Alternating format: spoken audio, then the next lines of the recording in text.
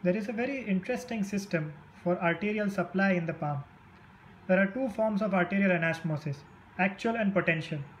The palm shows actual anastomosis.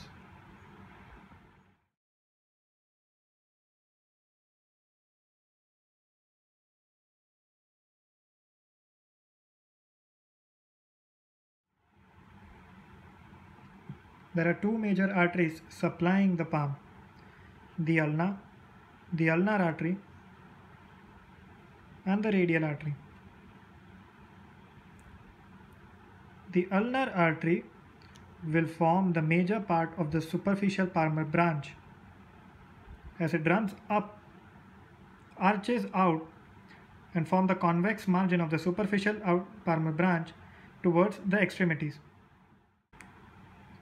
From the radial artery, superficial radial branch for continuing with the superficial palmar branch arises and it gets uniform with the superficial palmar branch arising from the ulnar artery. The superficial palmar branch gives out four major branches towards the digits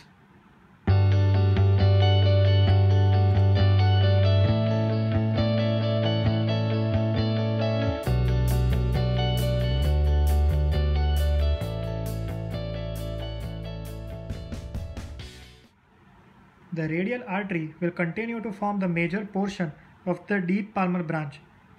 It runs below the thenar eminence in the anatomical snuff box formed by the abductor pollicis longus, extensor pollicis longus and extensor pollicis brevis. Running through them, it comes out and moves in such a way that its convexity faces towards the digits. Ulnar artery gives a branch known as the deep ulnar branch which runs up and continues becomes uniform with the deep palmar arch. The deep palmar arch gives out five branches. Three of them are the metacarpal branches.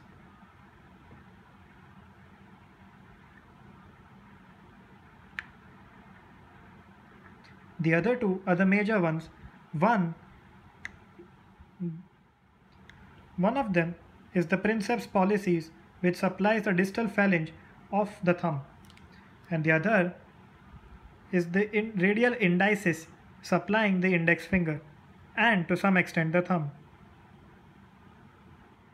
An interesting thing to note is that a muscle called the pronator quadratus rests upon the lower one-fourth part of the radius and the ulna. It is on this muscle that the radial artery rests from which we are able to get the pulsations.